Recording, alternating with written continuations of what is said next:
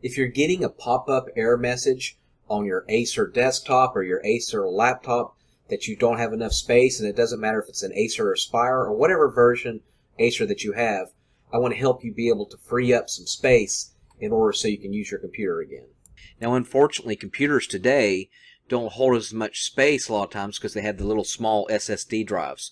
They're quicker, they're faster, they're more efficient, but a lot of times people will only have like 128 gigabytes, or I've even seen as low as 16 gigabytes uh, hard drive space on a laptop.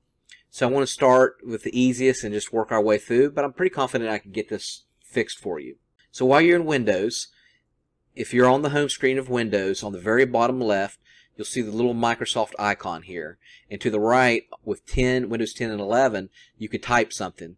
On Windows 7, you might have to click on the little Microsoft logo here to go into search, or just hit the magnifying glass logo here to search.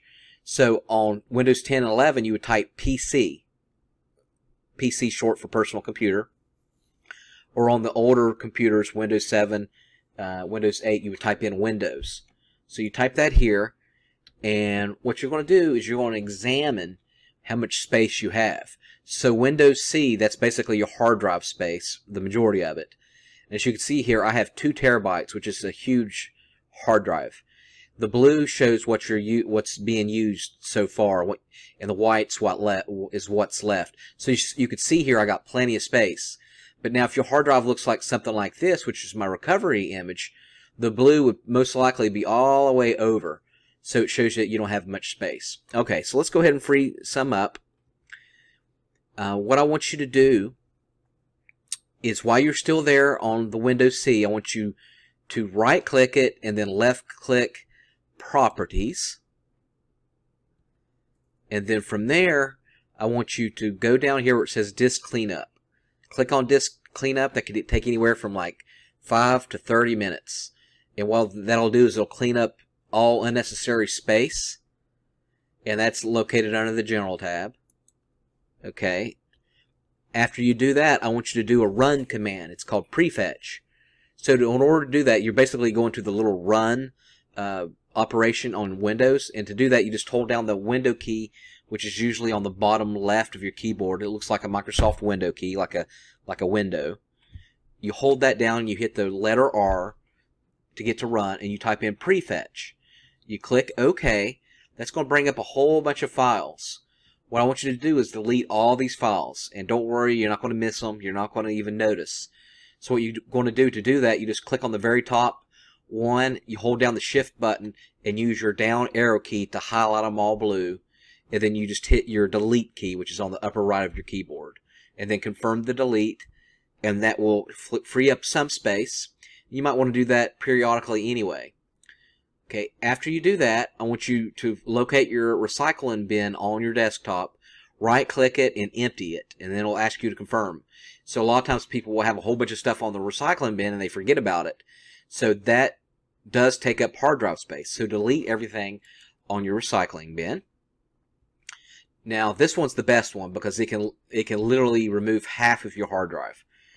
So you want to remove any unnecessary programs, and there's probably some on there you don't realize.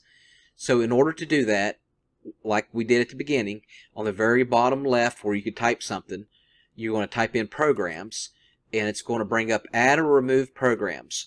You can also find this by going under to con under control panel in your computer as well to just go to programs and open up programs on like Windows 7 and Windows uh, 8 but on Windows 10 and 11, you do programs, you click on add or remove programs. And then what's going to happen is it's going to bring you to this screen that shows all your programs. I want you to sort by size right here and do the biggest, largest size first. And as you can see here, it's going to bring up the, the biggest stuff first. So right here, the, the what's taking up the most space is Sims 4. It's a game. It's taken up almost 20 gigabytes of space. Then you go down, Pinnacle, Minecraft is taken up almost a full gig. So what you do is you just click one and then you uninstall if you do not if you do not want to use it anymore or if you only use it once in a while you might find this new program that you want to download that's not allowing you to more important So you can you can uh, uninstall any of these programs. One I want you to look at is Microsoft. You might not have Microsoft, but what happens is is you will uh, down you know when you purchase the computer, it will automatically have Microsoft on there, but you don't have it activated and you don't plan on using it. So you want to delete something like Microsoft Office Home because you're not using it and you don't own it. Or uh, that one or an antivirus. So like if you have a lot of computers come with uh, McAfee or um, Norton antivirus, those take up a lot of space, but you're not using it because you've got another antivirus. Go ahead and delete that. Those take up a lot of space as well. And then uh, restart your computer and then tell me if you're able to get rid of that disk management error. Okay, after that, what I want you to do is defragment your uh, hard drive. And so what defragmented is, it's like you got this lump of information, and what you're doing is you're squeezing it all together. That's called defragmenting, where you're making it more, more efficient and compact. So in order to perform a defragment, an optimized drive, again, under the bottom left of your home screen, type in defragment, Click on defragment and optimize drives. And then it's going to bring you to this screen. And I want you to do both of these. First, do the optimize, optimize, which should take a few minutes.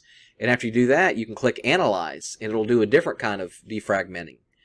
So do, do both of those do, do both of those uh, operations, and then restart, and then see if you can uh, download whatever you need to download.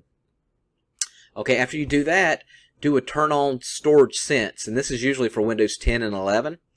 So what you're going to do is on the bottom left again, in search, type in storage sense.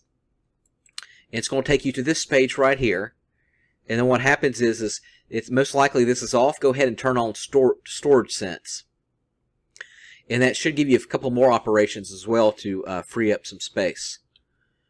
Okay, it's going to take you to this to this place here. Make sure on here you click on on. Okay, and after you've done that, what you can do is get you an external hard drive. You can do like a little mini USB to store stuff, but an external hard drive is going to be better and it holds a lot more space. And get you like a terabyte or two terabytes and hook it up to the USB and drag and, and, and put everything on your external storage that you that you don't want on your desktop, but you still have it in case you need it, and that's going to free up a lot of a lot of space there. All right, and then if you've tried all that and that doesn't work, it should, but if it doesn't, you're going to do a full factory restore reset on your computer, and it depends on what model you have. If it's an Acer, a Dell, or an HP, and uh, that's going to put it back to factory settings. And you preferably want to do it to where you don't you're not keeping your files because your files is what's causing the problem. And I'll link I'll link on the end of this video. I'll link uh, my video that shows how to factory restore any computer.